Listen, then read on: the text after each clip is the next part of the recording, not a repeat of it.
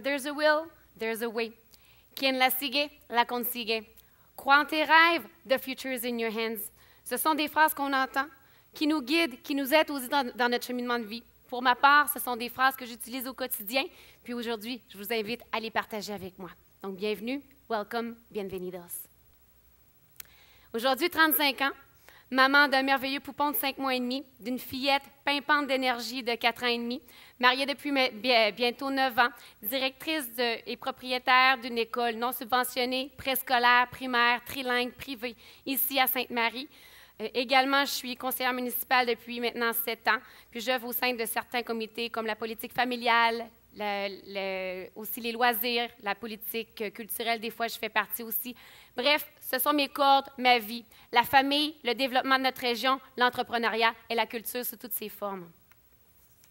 Aujourd'hui, j'ai décidé d'enlever mes lunettes d'adulte, puis de vous charmer un peu à la manière dont je, me laisse charmer par les enfants au quotidien. C'est beau des enfants. Hein? C'est beau, c'est simple, c'est naturel. Je mets un chapeau parce que je revais plusieurs chapeaux. Mais aussi aujourd'hui, cet après-midi, je vous invite à vous lever. On vient de dîner, on veut digérer, donc tout le monde, levez-vous. Faites-vous du bien, on va se dégourdir un peu à la manière des enfants. Tout le monde, tout le monde, tout le monde, sans exception. Vous allez répéter après moi. Hello. Bonjour. Buenos dias. On fait comme les enfants. Good day. Guten Tag. Konnichiwa. Ciao. Shalom. Dobre dien. On fait comme tous les enfants. Hello to all the children of the world. Vous êtes beau, c'est le fun, ça fait du bien. Vous pouvez vous asseoir. Bravo tout le monde. ça fait du bien parfois d'enlever ses lunettes d'adulte, de redevenir enfant. Je crois qu'on ne se le permet pas assez en tant qu'adulte. On est toujours dans notre routine, dans notre quotidien, lever, boîte à lunch, faire les sacs, nanana. Pour ceux qui sont encore à cette phase-là, j'en suis présentement, je suis à cette phase de ma vie. Donc, on est beaucoup dans notre quotidien. Mais pourquoi est-ce qu'on ne pourrait pas se laisser le temps, nous, les adultes, un peu de vivre un peu comme des enfants, un peu au quotidien? Donc, euh, la simplicité, ça a toujours sa place. Lorsque j'avais 7 ans, j'ai débuté mon aventure avec les danseurs de Sainte-Marie. Vous voyez ma belle photo, donc c'était moi. Vivre la culture à travers la danse, l'apprentissage des langues, des mots, toutes sortes de langues, connaître des gens d'autres pays, faire des voyages ici au Canada puis ailleurs, ce sont toutes des expériences qui m'ont forgé, qui ont fait qui je suis aujourd'hui. Et puis, j'aimerais ajouter qu'aujourd'hui, même après 28 ans, aujourd'hui même ce matin, c'est ma petite fillette de 4 ans et demi, Félicia, qui a débuté euh, son parcours au sein de l'école de danse Manigance, donc anciennement des petits danseurs. J'en suis très fière. Pour moi, c'est en même temps un retour aux sources. Et puis, c'est une belle fierté. Puis, je remercie aussi les Syriani, qui est une des, des grandes partenaires de l'événement d'aujourd'hui, qui a été beaucoup présente pour moi aussi dans mes premières années au sein de, l'école de danse des petits danseurs. Bon, entrons maintenant dans le vif du sujet, l'éducation. Pourquoi est-ce que l'éducation, c'est un secteur, c'est un sujet si fascinant, selon vous? Parce que c'est un, un sujet d'actualité qui nous touche tous de près ou de loin, qu'on aime l'école ou qu'on l'aime moins à l'occasion. L'éducation, c'est un secteur porteur de croissance économique, futur qui peut procurer des bénéfices à toutes les régions du Canada, d'un océan à l'autre, et à toutes les communautés, quelle que soit leur taille. Selon plusieurs études, le Canada va connaître une grave pénurie d'activités, pardon, une grave pénurie de travailleurs qualifiés d'ici 10 ans. La pénurie va toucher toutes les sphères d'activité, les postes de gestion, les postes de professionnels, postes techniques, spécialisés, les scientifiques aussi.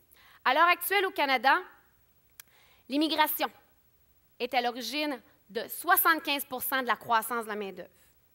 Puis d'ici la fin de la décennie, ça va être 100% de la main-d'œuvre qui va provenir de euh, l'immigration. C'est même assez incroyable, non, comme chiffre. Les étudiants internationaux forment un excellent bassin de main-d'œuvre hautement qualifiée et spécialisée qui peut répondre aux besoins actuels et futurs du marché du travail. Notre belle région de la Beauce ne fait pas exception à cette règle-là. Notre relève devrait être forte, polyvalente, bilingue, et même plus encore, puis prête surtout à affronter les réalités linguistiques et technologiques qui nous entourent. Ce qui n'était pas si longtemps vrai de dire, bon, on est dans la région de la Beauce, l'anglais c'est important, oui, mais plus tard, j'aurais peut-être pas nécessairement besoin d'être bilingue. Ce ne sera pas vrai pour les générations futures. Regardez un enfant de 5 ans manipuler des petits jeux électroniques en répondant à toutes sortes de questions qui sont en anglais. Regardez un enfant d'âge préscolaire, manipuler un iPad, vous viendrez me reparler. Regardez un enfant de 7-8 ans effectuer une conversation Skype avec des enfants d'autres pays. Puis je vous le conjure, je vous dis, la maîtrise de l'anglais est essentielle en 2012. Apprendre les langues, c'est apprendre le monde. Faut pas se leurrer, c'est vrai. Apprendre les langues, c'est s'ouvrir des portes. Apprendre les langues, c'est connaître les autres, c'est les comprendre. C'est éviter de rire pour des préjugés, c'est même avoir de l'empathie dans certaines circonstances. J'aimerais vous faire part de quelques idées préconçues en lien avec l'apprentissage des langues que je dois débattre encore à l'occasion, mais qui sont tout, simplement vraies. On dit qu'il faut être intelligent pour apprendre les langues. Oui, il y a une certaine aptitude intellectuelle qui est nécessaire pour apprendre la grammaire, puis le vocabulaire, mais l'usage de la langue s'acquiert comment? S'acquiert par la pratique, par l'imprégnation, l'immersion. Apprendre plusieurs langues, aussi, c'est risquer la confusion linguistique. C'est sûr que la compétence linguistique, des fois, dans certaines langues, bon, il y, a des mots qui s'apparentent, des mots qui se ressemblent. Puis quand on montre de plusieurs langues à un enfant, au début, il va se tromper. Il va pouvoir faire une phrase euh, francophone, anglophone, hispanophone, une, langue, une, phrase mélangée. Mais avec le temps, tout se, tout se catégorise dans le cerveau de l'enfant, puis c'est ça qu'il faut comprendre aussi. D'une manière générale, des études montrent qu'apprendre une langue étrangère rend non seulement meilleur dans sa, propre langue, dans sa propre langue, mais développe aussi des capacités cognitives qui sont bénéfiques à l'acquisition des autres disciplines. Donc cet élément est important à considérer. Apprendre une langue, on dit que ce serait long et ennuyeux. Long peut-être, si on veut se perfectionner, si on veut apprendre sur la linguistique, se spécialiser, mais plus tôt on va être capable d'apprendre d'autres langues, plus tôt on va, on va montrer à l'enfant que les langues, c'est l'ouverture sur le monde, puis plus tôt qu'on va commencer à faire l'immersion, moins ça sera, ça sera difficile pour l'enfant. Parce qu'un enfant, vous savez, le cerveau d'un enfant, c'est comme une éponge, oui.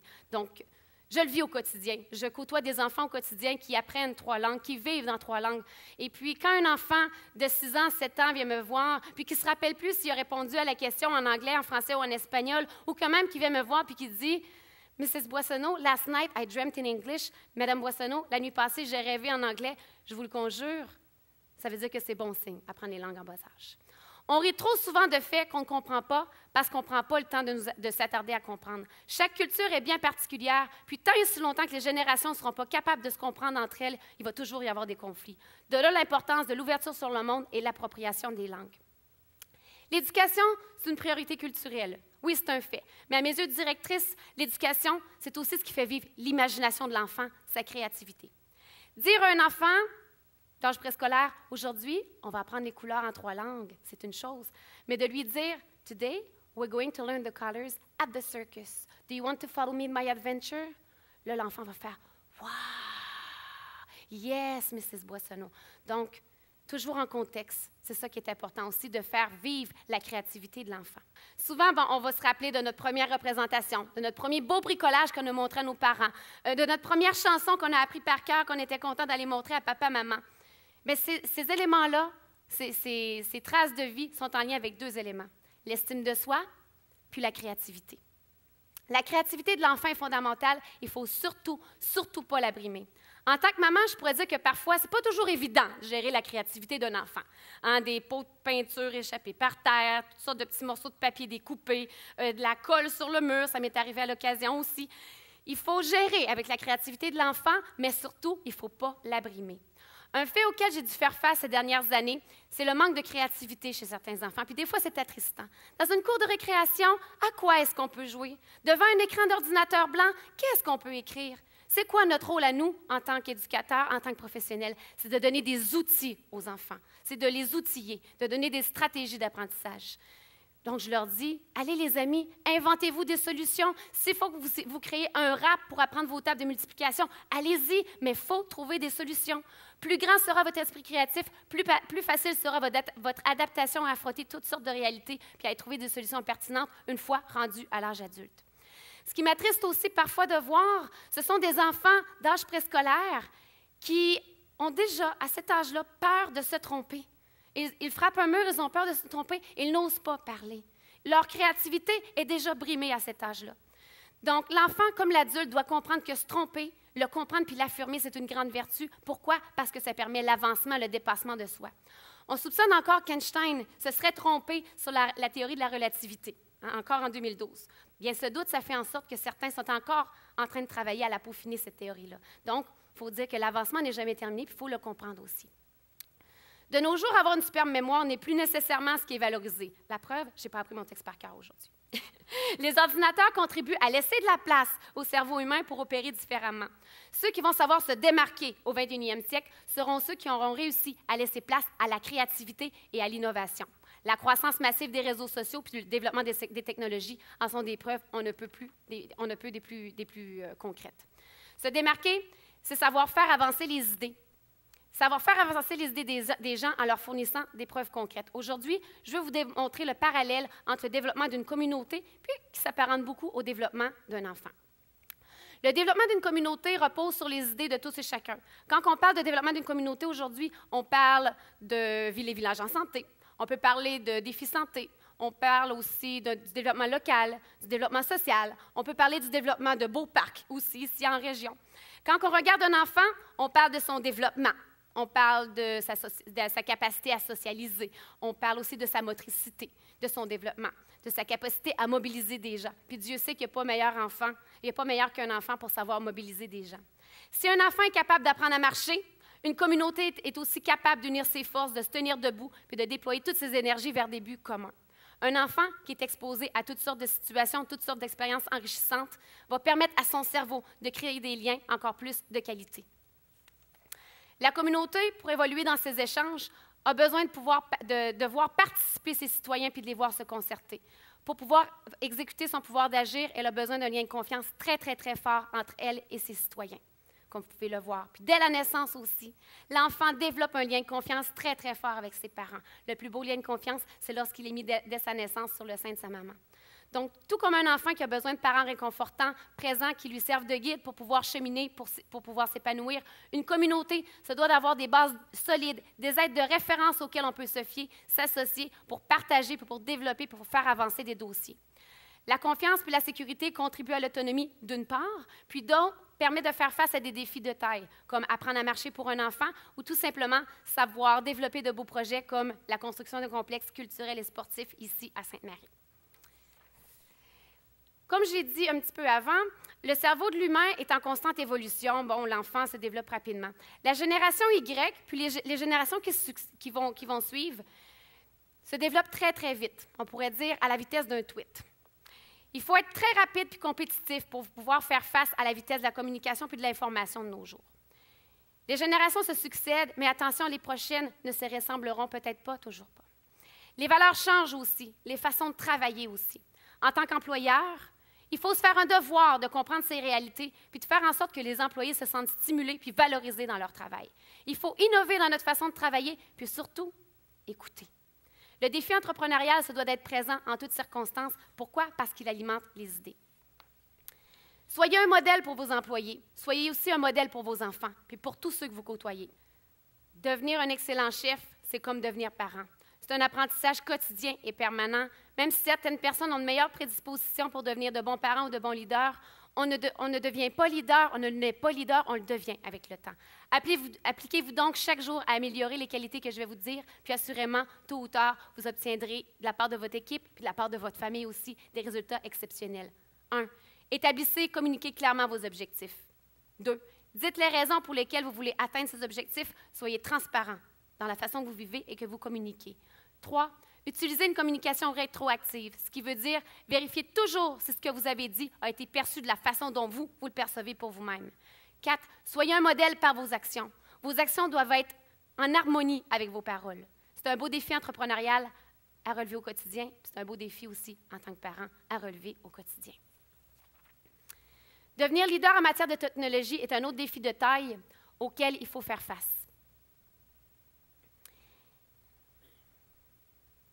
Regardez cette image, elle parle beaucoup, non? De un, elle nous dit que la technologie, ça s'acquiert maintenant peu après la naissance. C'est pratiquement devenu un jouet fondamental. De deux, il y a un petit vent de panique qui souffle à l'intérieur de moi, à l'intérieur de moi quand je vois, quand je vois cette image-là, l'individualisme. Ça me dit que maintenant, c'est difficile, c'est difficile de, de, regarder un iPad puis de communiquer en même temps. Notre défi actuel, c'est de cohabiter avec les technologies afin qu'elles deviennent des outils de performance et d'avancement. Elles ne doivent pas enlever le fait que nous sommes d'abord et avant tout des êtres humains. La facilité d'accessibilité puis la rapidité sont les deux mots d'ordre. Puis gare à ceux qui ne seront pas efficaces et vont être pointés du doigt sur les médias sociaux. Est-ce qu'on veut être comme Obélix puis Astérix, puis continuer de vivre dans notre réserve comme de vrais Gaulois? Ou est-ce qu'on est prêt à oser changer, oser, aller de l'avant, autant du côté social que technologique, pour permettre aux futures générations de comprendre que nous vivons tous dans le même bateau? Gens d'affaires, jeunes entrepreneurs, gens d'ambition, take a chance. N'ayez jamais peur de ce que vous avez en tête. La peur, c'est vous qui vous la créez. Je termine en vous disant que you have to go confidently in the direction of your dreams and live the life you've ever imagined. Je vous remercie beaucoup de votre attention et souvenez toujours que vous êtes proactif. Merci.